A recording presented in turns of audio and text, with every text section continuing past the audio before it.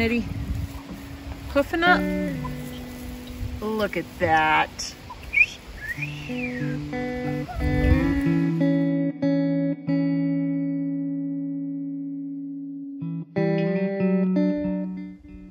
Good morning, guys.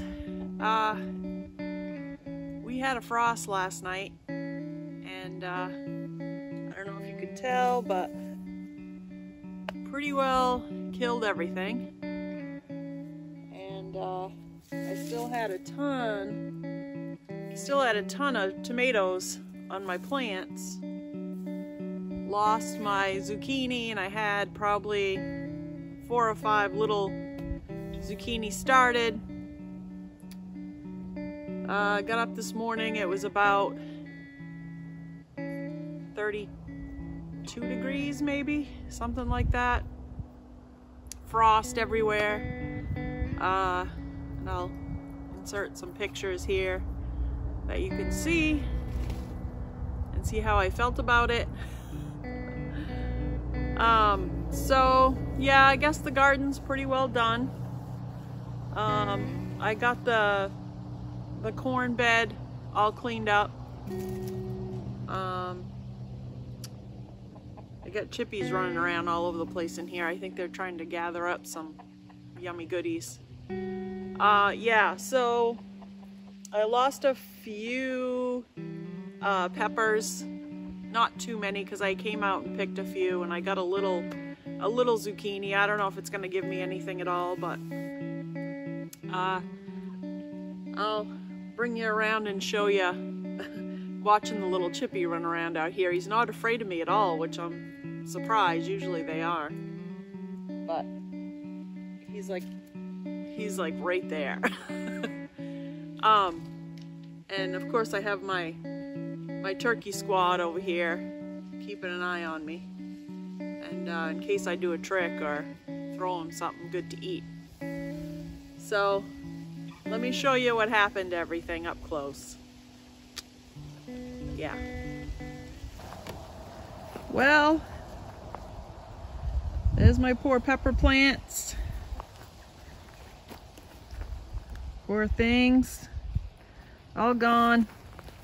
Even the little pepper plant that could. Pretty much gone. So, you know, the only thing that's still living is the weeds. Isn't that funny? Roaches and weeds when the end of the world comes. That's what's gonna still be kicking. So yeah, look at this poor little, poor little pepper. There goes my little chippy friend. Oh, I think I missed him. He just ran out. But there's my zucchini and it's still got zucchini on it. I should have come out here and covered it. That's what I have this makeshift, you know, wood rail thing. Um, that's what I did in the spring with all my seedlings.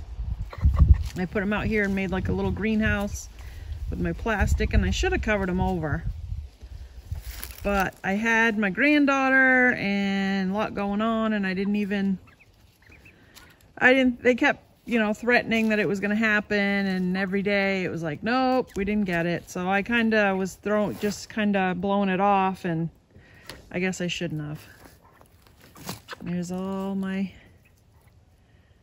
my green tomatoes left I think I see a few orange ones down in there I don't know if you can see those but yeah. All my green tomatoes. And then way over in the corner are my two potato bags that I haven't harvested yet because they were nice and green and lush looking. And uh, so I guess I'm gonna dump those out and see if I got any potatoes out of those because I don't think they're gonna do anything else. And probably clean up these pepper beds clean these up. These are the little bit that I got here. I cleaned a few of the peppers out. They're not very big, but whatever. And then this little, I just couldn't bear to let that guy go. Give me something.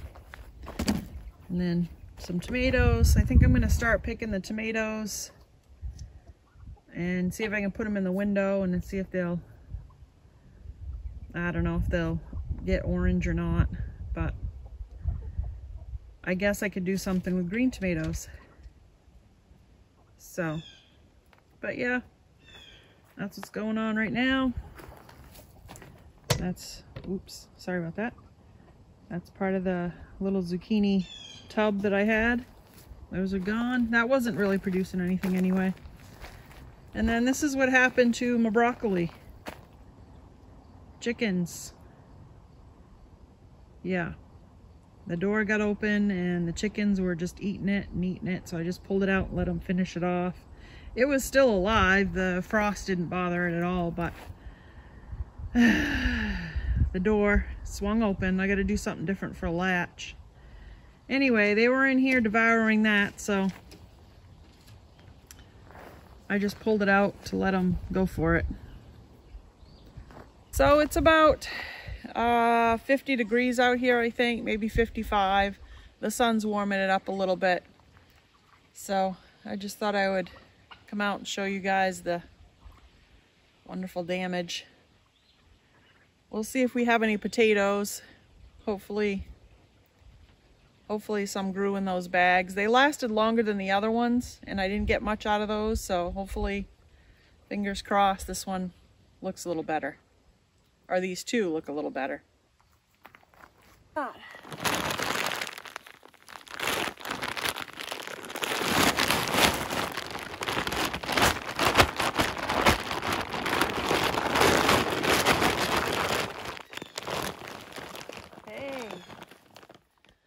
That's a nice looking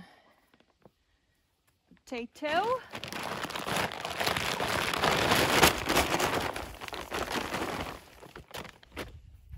All right, I see some, a little bit.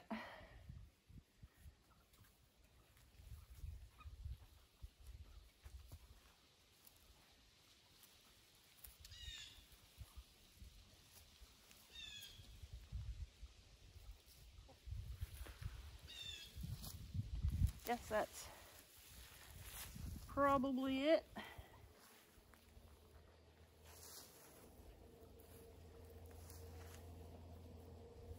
Well, not bad. I think I only put two in there, so.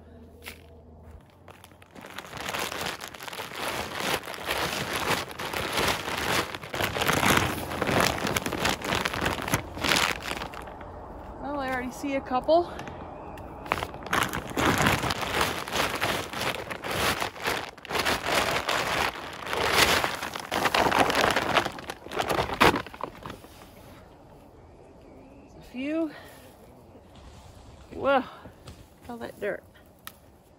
Good.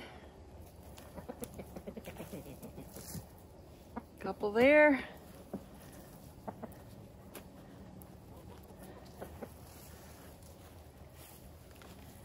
This is, this one was compost, I think.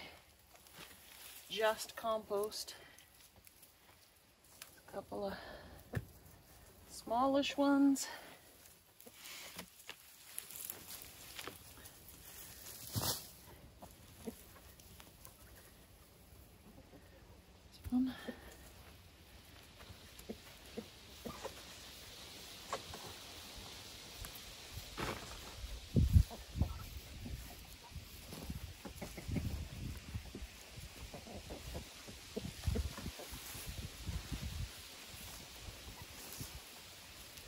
All right.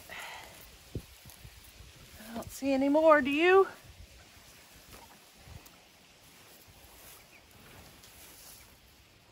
There's one. Big clump. You guys want to just get in here, don't ya? You guys just want to get in here. I don't blame you.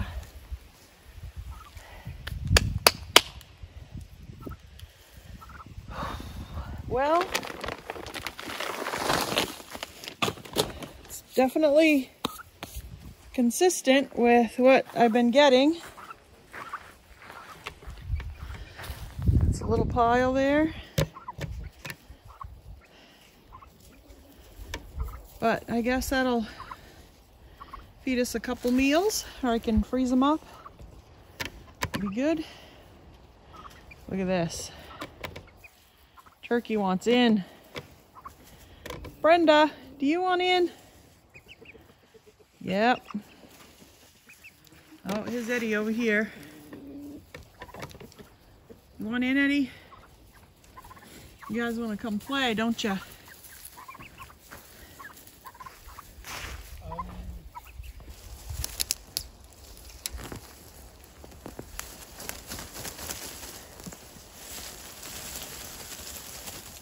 Good, good root system on these peppers. Look at that, nice.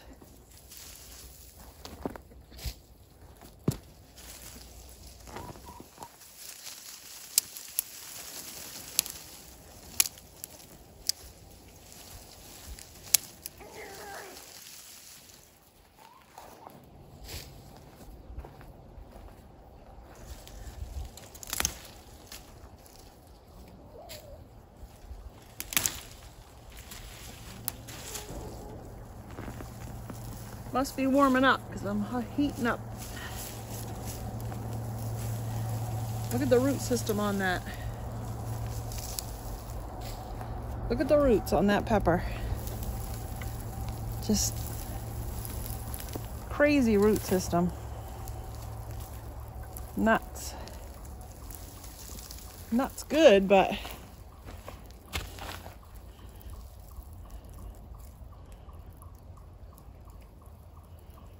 Crazy.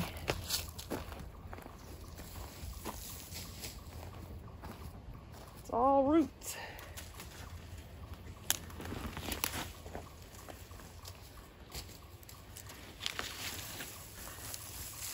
Yeah, take those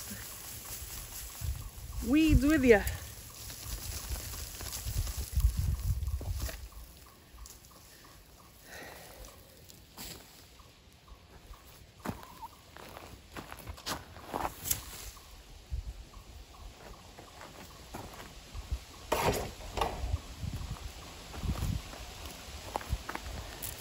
Ugh.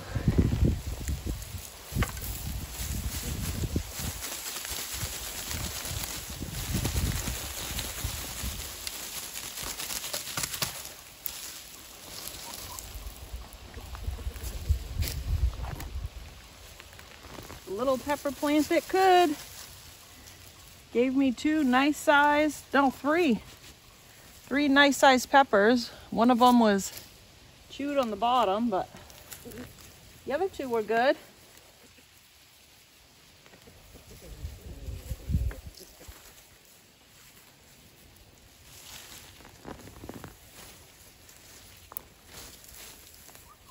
Nice dirt. I like this bed for peppers. I've used this one last year and we got a lot of good peppers out of it. It's good and deep. And um, I did like a hugelkultur in the bottom of this. So there's sticks and leaves and this is my oldest bed. Um,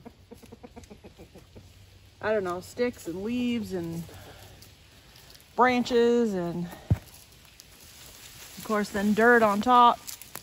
Anything that would compost down. I might have even put cardboard in here.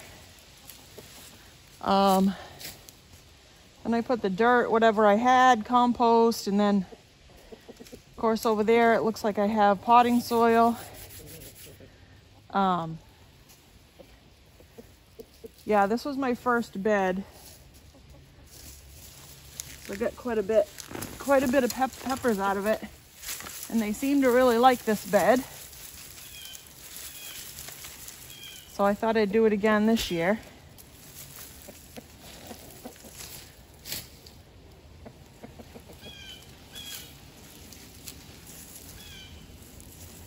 But I'm sure after, what, this is the second year.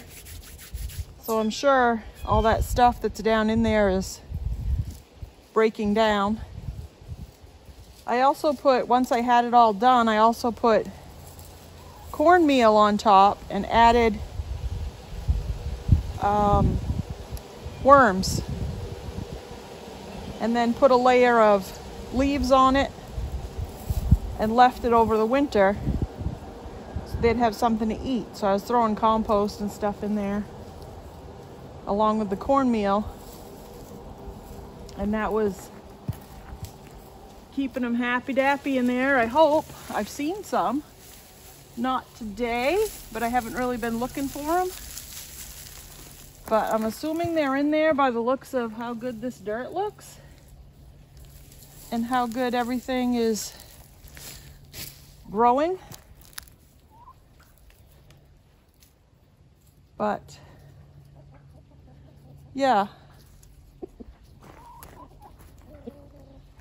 this one worked out pretty good.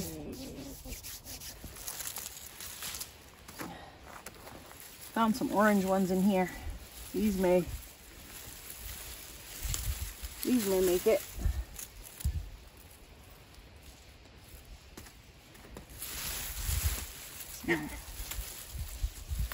Big ones. They're big. And I feel so bad about losing them all.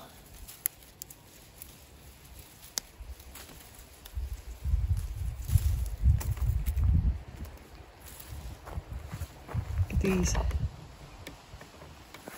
at this bunch. It's crazy.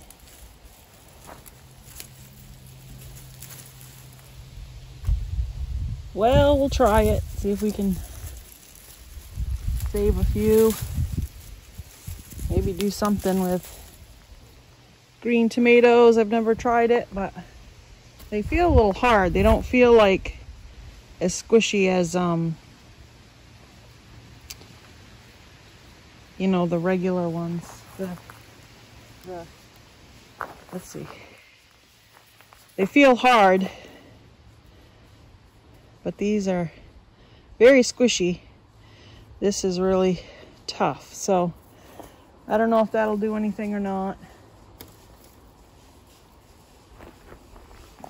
But hey, we got quite a few and I got some really good marinara. We had a birthday dinner for my daughter the other day and everybody, I got some garlic knots and everybody tried them and they were really good with the marinara that I made.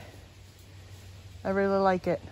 The salsa they liked, but they said it was too, too mild. It didn't have enough kick to it, which I knew that.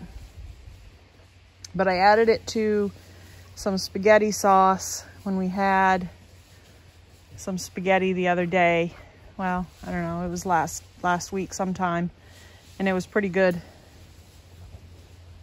uh, with that in there. So it added a little extra. And I like, I kind of like chunky sauce. So it wasn't too bad. So I don't know if you can see or not, but I got this all weeded out. Of course, I have some piles over here of the dead stuff. Um, and on the other side of the fence where all my sunflowers and gladiolas were. My glads are here. I pulled them out of the ground, drying them up a little bit, and then I'm gonna take my bulbs and put them inside. But that's all pretty well gone. There's one little glad over there that's trying to open. So I'm gonna let that try and do that. I may pick it and bring it inside so I can enjoy it. Uh, I took my other cucumber down. There goes the chippy again. He's just running all over the place. Um, so yeah, things are pretty well gone here unfortunately. But it's all part of gardening, and in Maine especially, or in the cold weather uh, regions, uh, our growing season is so small. I'm hoping to take one of the metal frames that we have that used to be for a cover it and making that into a greenhouse. I'm hoping, fingers crossed. Um, I know wood prices have gone crazy, so I'm not sure you know, I'm not sure. We're not going to need much, but I'm not sure how that's going to work out. But I'm hoping we can do something with that um, so that next spring, when I get my seedlings going in the house and they get ready to come out and it's warm enough, they can they can be in that greenhouse. And I'm to try and work on that this fall if prices aren't too crazy. Um, most of it salvaged. I got a, a window from the dump, brand new casement window, um, really nice. So I think uh, Scott and I can get something framed out so we can put that in on one end. Um, we may have to build a door for the other side, but I did already get the plastic back last spring because I wanted to do something then. Didn't happen, got too busy. Um,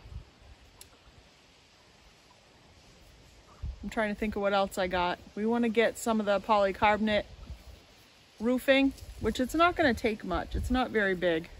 I can take you over and show you what that framework looks like and what I'm thinking about doing and explain it a little better so you can see what I'm talking about. So this is the framework I'm talking about. I think that's five feet wide. It's just this one here, the taller part. It's separate from that one over there. But this is my little junk junk corner where I keep my fencing and my, my poles that I get. And I put them over here. But so it's only five feet wide. And then I think it's 10 feet to the front or the back, whichever one you want to look at. So what I want to do is put, you know, a window like right there in the back. And then the other side looks the same, but I'm going to put a door of some sort so I can get some cross ventilation. And then see the roof isn't very wide. And I'm not sure how wide the um, polycarbonate is. I think it's four feet maybe. So I only might need a couple on each side. So about four on each. Uh, you know, on each side, on this side and then or two, I should say. Boy, I can't explain this very good. Two on each side, so probably four pieces, but I'm not sure I would have to look it up. Um, and it also depends on how long they are, because if they're pretty long, you can cut them in half and use, you know, half on each side, maybe only use two for the roof. Like I said, I have, um, I'd like to do the heavy plastic sheeting, you know, around the top, and then on the bottom, I don't know, I have this I also got at the dump. This is metal, I don't know if it's metal roofing or if it's metal siding, I'm not sure, but I think we can use it as siding down around the bottom. So, so high up to make it look nice. And that would make a nice little, little greenhouse just to put my seedlings in until they're ready to go out in the garden. Just start some stuff and I think it would be nice just to start with. I don't need anything too big because our garden isn't all that big, but I also want to extend the garden out a little bit. I want to pull that, pull that fencing out. So, I don't know, another six or seven feet maybe. I don't know. We'll see. But then, and then put this around the side of it or something. But that's kind of my vision. And Scott's been thinking about it and trying to figure out the best way um, to do it. And I'm hoping with the arch of it that it won't be too, um, you know, it won't hold the snow and it will slide off. But I usually come out and clean it off the coverets anyway for the run for the chickens. So should be okay. But that's kind of my vision. We'll see if it comes true this year. I may have to wait till next spring. It all depends. Little sneak peek of the wood pile. The knot wood pile. It's about done. The split stuff or stuff that's ready to be split is almost done.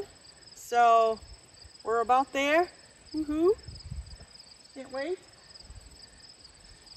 And it's so cold we have a little bit of a fire going inside. Because I think it was 60 in the house. That's just too cold for me.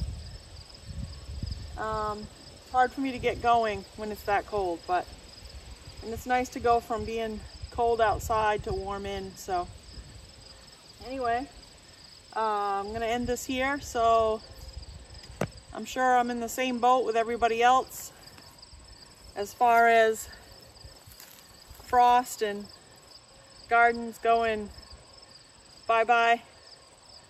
It's all part of it. Welcome to fall. I'm supposed to be getting my garlic pretty soon, so I'll be putting that in the ground. The bed is ready for them. I'm ready for when they come. Should be any time now, sometime this week. And hopefully one of the next videos you see is me putting some garlic in and getting ready. So next spring, hopefully we will have some garlic to pick. But on that note, I'm gonna let you guys go. Thanks for stopping by and hope you come by again. See you later. You gonna fan out, Eddie? Look at you. Oh, pretty boy. Oh, Eddie. Oh, Eddie. I think he's got a crush on you. Or maybe he doesn't like me.